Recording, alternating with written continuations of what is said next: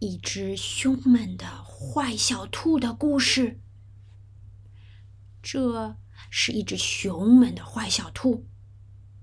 看看它野蛮的胡须，它的爪子和它翻起的尾巴。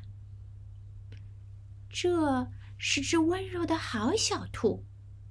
它的妈妈给了它一根胡萝卜。坏小兔想吃胡萝卜，他没有说请，他直接拿走了萝卜，而且他把好小兔抓伤了。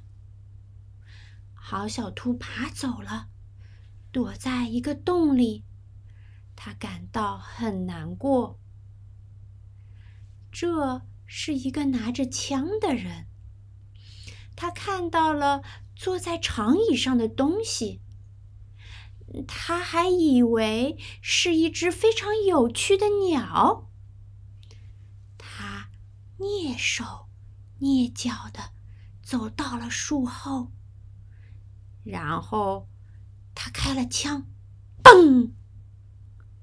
这就是所发生的事情。但是，当他拿着枪冲上去的时候，在长椅上发现的就是这个东西。